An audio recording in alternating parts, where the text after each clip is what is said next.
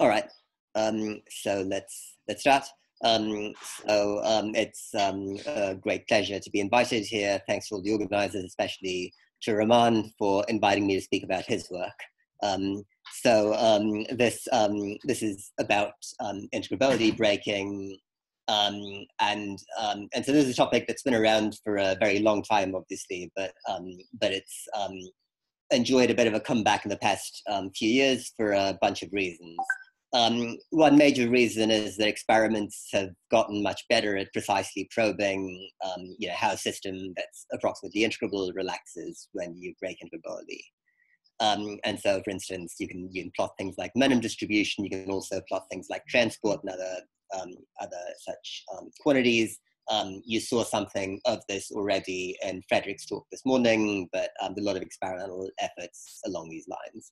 Um, at the same time, from a more conceptual perspective, um, there's been a realization that um, you know relaxation of a slightly broken conservation law can be very interesting and very non-trivial, and a lot of that is um, sort of stimulated by um, papers by Abanin, um, De Roeck and and others like that, who show that you know contrary to some naive expectation you might have um, for instance, exponentially long lifetimes um, for approximate um, conserved quantities.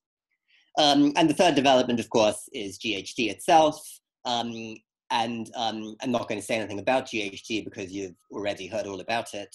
but the key point is that the GHD equation looks like a collisionless Boltzmann equation. and that was something that was realized quite early on in, in this game. And so you might say, well, okay, so if you want to be approximately integrable, just um, just put in a collision integral and you're done, right? Um, and um, and so the, the problem is that's difficult because um, the content of the collision integral itself, um, as we heard, for instance, in Jerome's talk this morning, um, is really complicated, involves all these form factors, these matrix elements between many body states, which are separated by a large number of quasi-particle occupation factors.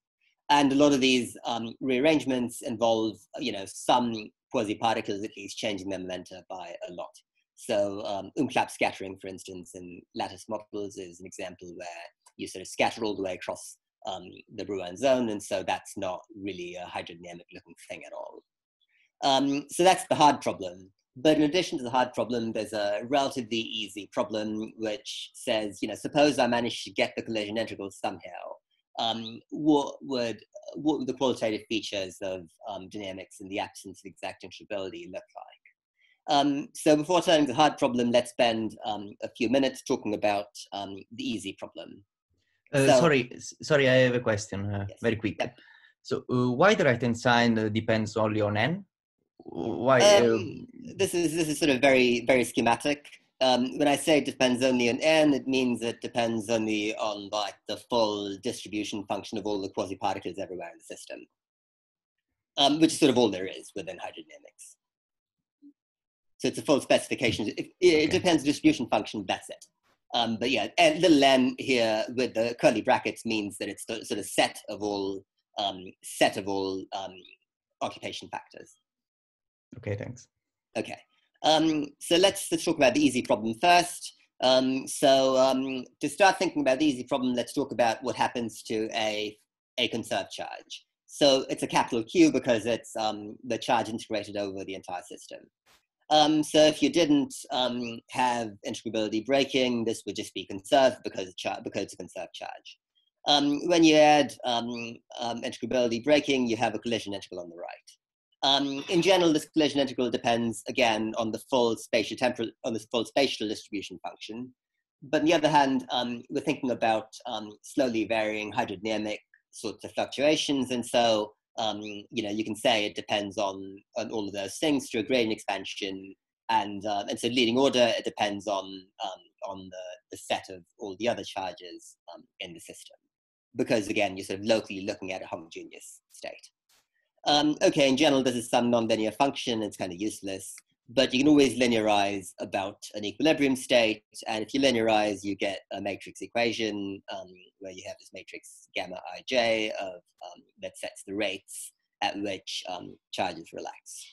And this, this, this matrix has um, some number of zero modes that correspond to the residual conserved charges. So um, once again, you break integrability, you, you destroy um, almost all the conserved charges, but you might still have a few left over. Like, for instance, if you break it Hamiltonian, you still have energy conserved. You might also have, let's say, momentum conserved if, you um, if your perturbation were Galilean. You might have um, number conserving perturbations, etc.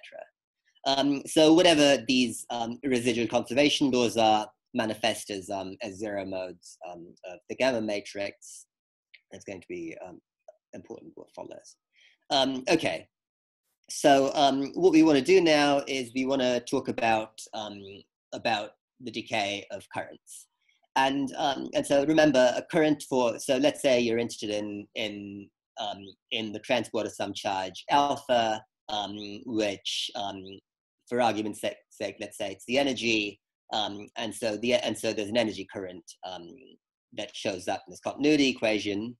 Um, and if you want to figure out in general what this um, what this current is within GHD, what you do is you say, well, you only care about the slow part of the current, and so um, and so the slow part of the current um, corresponds to its projection onto the set of conserved charges that I had in the previous slide yes, there's some there's some coefficients, um, and um, the current's a vector in some space, and it's written as um, as uh, you know, you can, you can, say it's got some um, weight on the charges. It's got some other fast stuff um, that decays fast, and that in Euler scale GHD just throw out. Okay, so um, this is of course familiar because if you try and and and stick this in the integrable case, if you stick this expression into into the Kubo formula, um, what you're going to get is you're going to get the um, the, um, the DC conductivity is um, the, uh, the product these coefficients times this charge-charge correlator.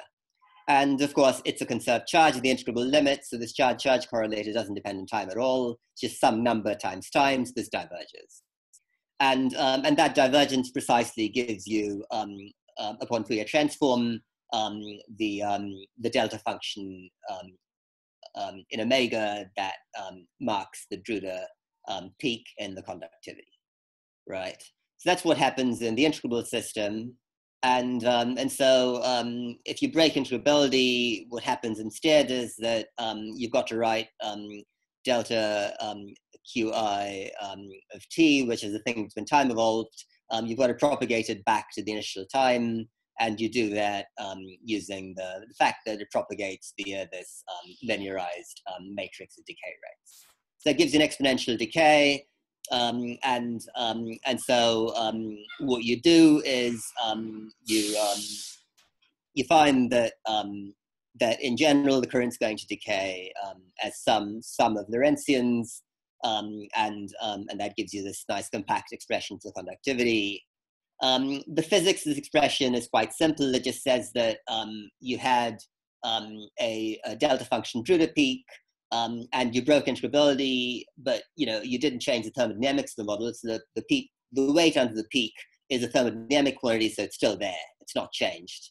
But all you can do is you can broaden it out um, by a lifetime, some family of lifetimes. And, um, and when you do that, you get this um, expression that basically says that the conductivity, the DC conductivity is, um, is some matrix version of, of broadening a Drude peak by a finite lifetime. Um, and um, it takes a bit of massaging, but you can also convert this, um, you can also get a diffusion matrix out of this using the Einstein relation. And uh, again, I don't want to run over, so I'll skip this bit, but you can also derive this um, in a somewhat um, different way by starting from um, hydrodynamics, um, linearizing and making gradient expansion and keeping the leading term the gradient expansion. And the nice thing about this hydrodynamic way of thinking about things is that you also, it also tells you how to put in the noise if you want to do, um, if you want to do fluctuating hydrodynamics of um, the remaining charges. So all of this stuff is kind of um, formal and simple and, and you know, not very much um, it's, it's, it's fairly tractable once um, you deal with the one difficult thing in the entire program, which is um, figuring out what's happening with um, the matrix of relaxation rates. Okay, and so um, Jerome already talked about this, so I can um, maybe be pretty concise. but um, but the point is that if you write down um, uh, Hamiltonian, integrability breaking, of course, going to have all kinds of operators in it. You might say, well, let's make life simpler by saying that um, all that you're going to allow are operators that couple to um, to the local charge densities um, and their products in some way. Um, you might say, well, okay, you, you have some hope of getting a handle on these guys using GHD. Um, but okay, even with these guys, um, the problem is that in general, you're going to be allowed to transfer large amounts of momentum. And so, and so the thing that GHD gives you, um, the thing that's, that's deeply tied to GHD is the low momentum transfer limit of, um, of the matrix elements of these charge-like operators. Um, and so that only helps you if, if, you, if you're, if you're if um, you're transferring small amounts of momentum. There's a nice plot from an old paper of, of Jacopo's and uh, Miłosz. Um, so if you're looking at um, small momentum transfer, um, you pretty much get the entire spectral rate just by talking about um, one particle hole excitations. But once you're talking about, um, about reasonably large momentum transfer, um, you can stop there. In fact, um, you know, the, one particle hole excitation contains a relatively small amount of spectral rate. There's a lot of spectrum left over that comes from other stuff.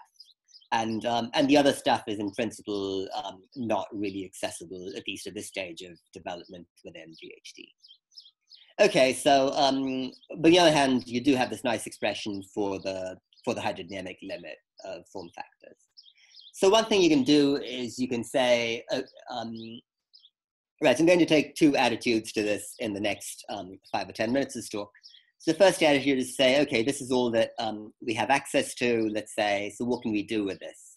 And um, immediately you can see that one thing you can do with this is you can talk about um, what happens when you have um, slowly spatiotemporally varying noise um, acting on the system. Because in that case, if the noise is varying slowly in space and time, then you can only get um, you can only get small momentum transfer events out of GHD, and so those are accurately described um, by um, by the formula by this nice form factor. Um, formula just says that the matrix element um, is proportional to um, the dress charge of the quasi-particle under the corresponding and the corresponding charge.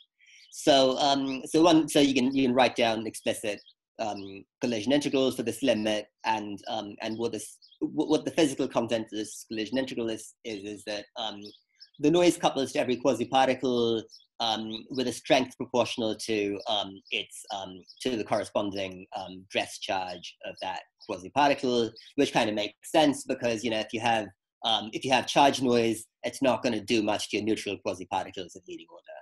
Um, and um, and so that's that's that's sort of that's the intuition that's being um, formalized by this.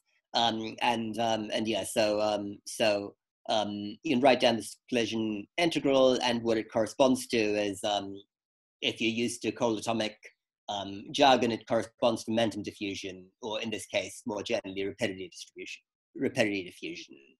Um, and um, and so you can you can play this game with a lot of um, interesting models, and and it actually gives you some insight also into things that happen beyond Euler scale hydro, because um, because all those things also depend um, in some ways on on these um, dress charges in somewhat similar ways.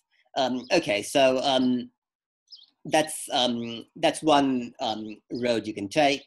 but the problem is, of course, that it restricts you to only thinking about very one very small family of integrability breaking perturbations in general, um, you have many other kinds of things that can happen, and uh, and this this approach doesn't really get you um, any traction on those. Um, and so um, one thing you can do is you can try and compute the form factors, but you can also try um, doing something much more brutal. You can try saying, okay, this is a very complicated problem, and so instead of trying to attack it directly, you can do what Wigner did, right? So Wigner said, um, you have complicated molecules. Well, let me not try to solve a complicated molecule. Let me let me just um, treat the problem as somehow um, you know random, make some brutal approximation and see how good it is. And so that's um, that's the um, the thing we um, most recently tried. and so this just uses this idea of GHD to say, you know, GHD takes Gibbs ensembles, spatially inhomogeneous local Gibbs ensembles, um, to other Gibbs ensembles um, under time evolution. And so what you do is you you time evolve um, your um, ensemble under under the, the integrable dynamics. And then what you do is with some um, with some rate, you replace um, your GGE density matrix with the, the fully thermal Gibbs density matrix. But that thermal density matrix is constrained to match um, the residual conserved quantities. So for instance, um, if you had a GGE with total energy um, E in some cell, you don't want to replace it with any old thermal state. You want to replace it with the thermal state at that cell that has that matches the same energy. Um, and also, you know, if you have an energy and a charge that's conserved, you got to match both of those, etc. So that's that's the um, that's the algorithm.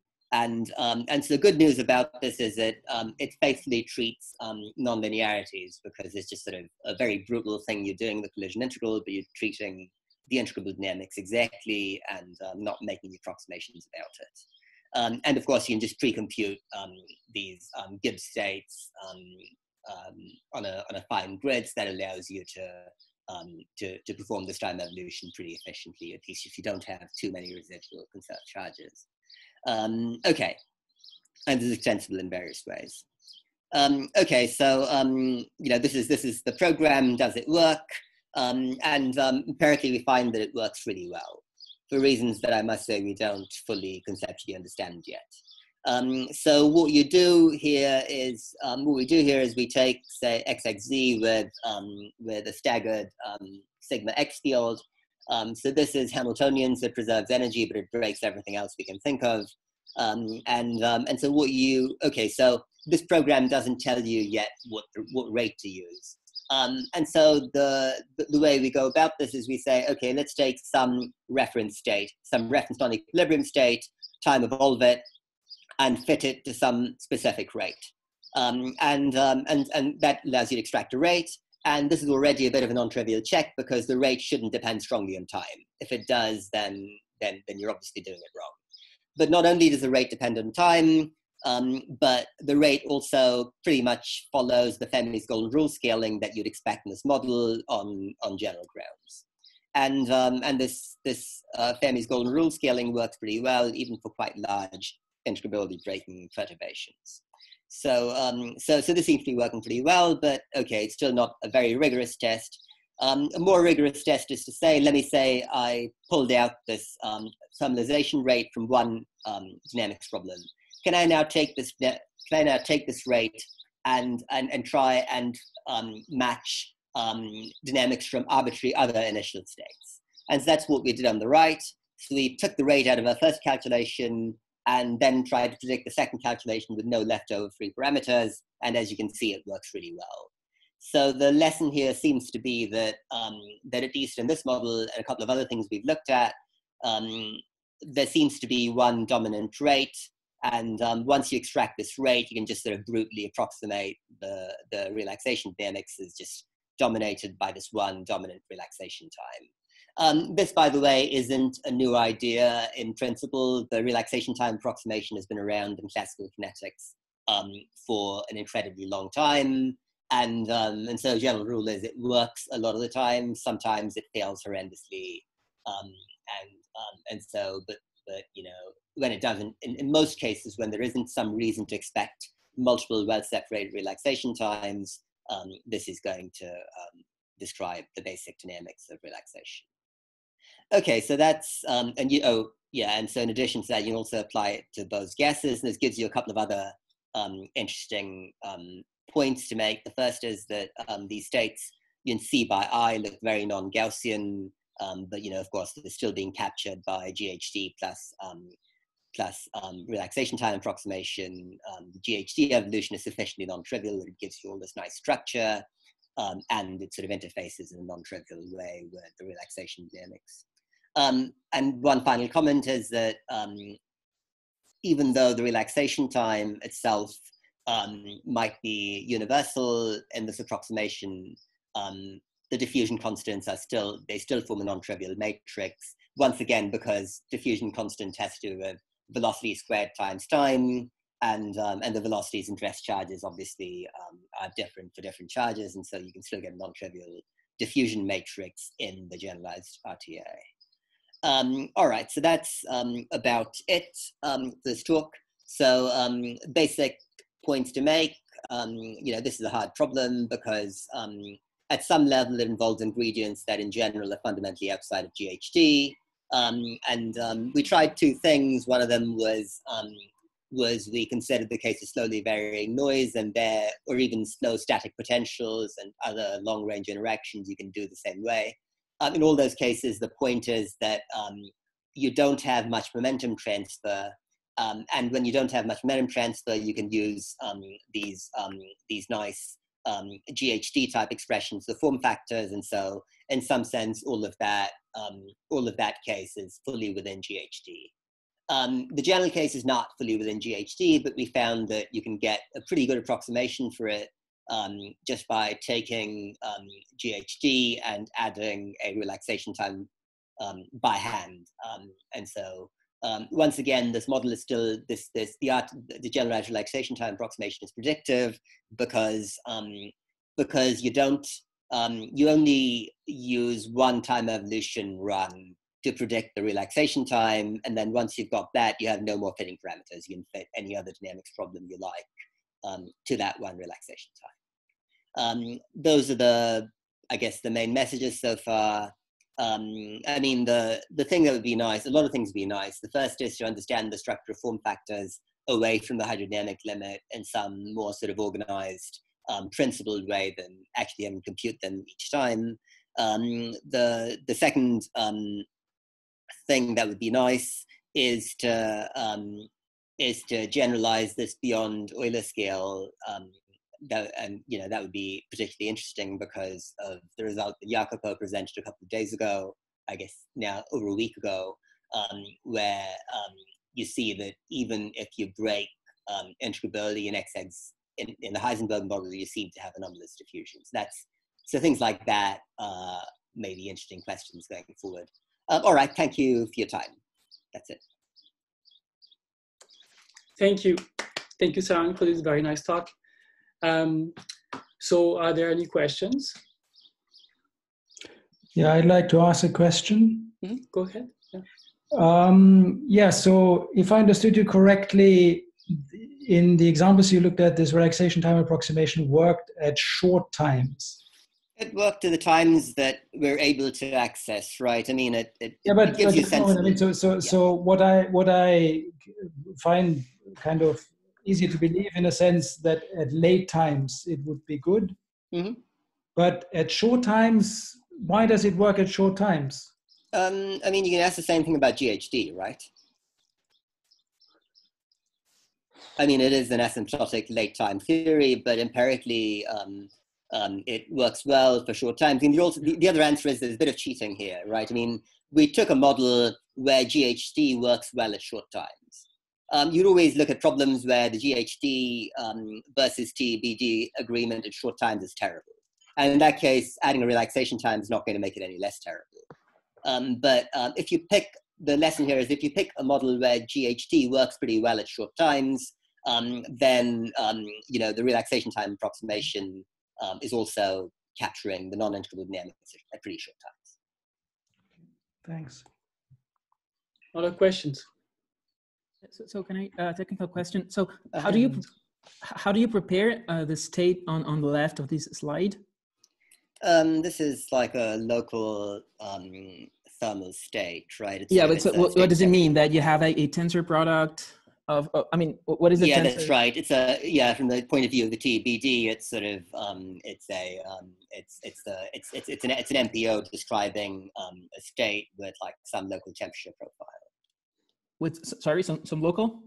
With some with some temperature profiles. So, so yeah, temperature is um, right. But then I mean, so it means that you you you have product state and each you block uh, sites and then you yeah, no, that's right. So, I mean, you can think about it as, uh, and you also think about it as some kind of low rank MPO. Right. But then, okay, so another, I think this is also related to what Fabian asked, uh, that yeah. this is, uh, I mean, so another question is, uh, do you, can you predict something for, for um, uh, pre-thermalization in, in homogeneous settings more traditional to to other studies of pre-thermalization? Like um, like here, it's a bit it's it's not surprising that you end up yeah. eventually with a thermal state. But if you take, for example, the example by uh, Jerome, where he ends uh, he has some non-trivial driving, there, uh, even though the, the, the, there is some kind of uh, going beyond integrability, you don't end up with a thermal state. So maybe here also has to do with initial state. Um, yeah, sure. I mean, but I think the point is that if you did a quench, right, if you did a quench that created a bunch of quasi-particles, um, you would have to find the GGE first.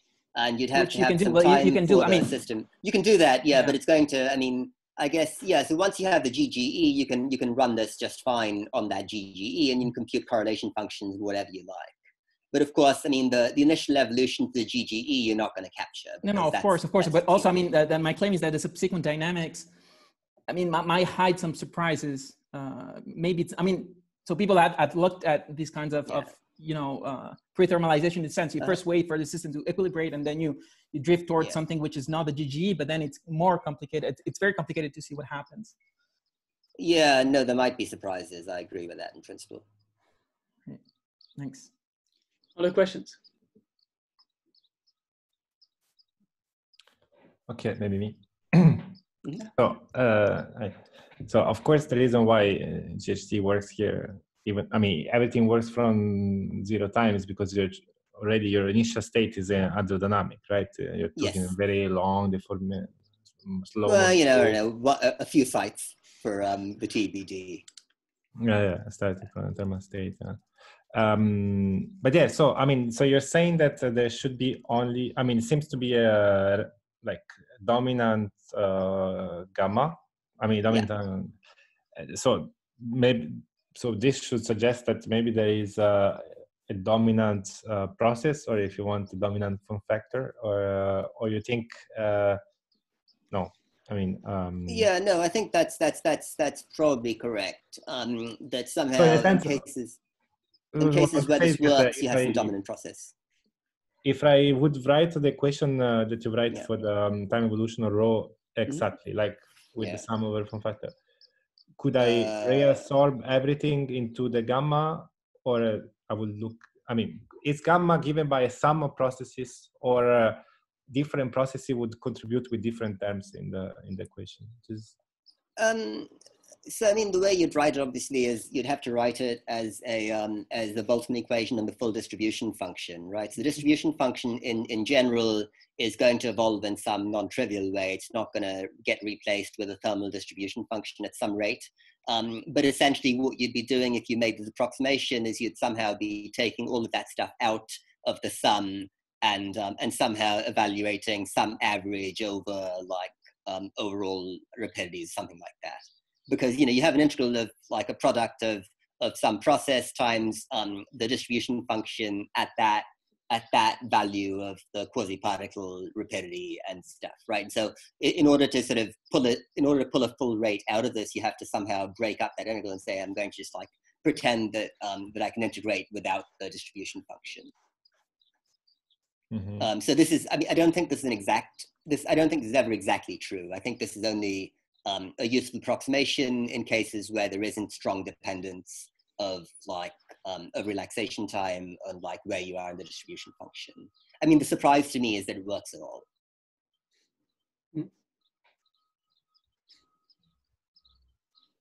Other questions?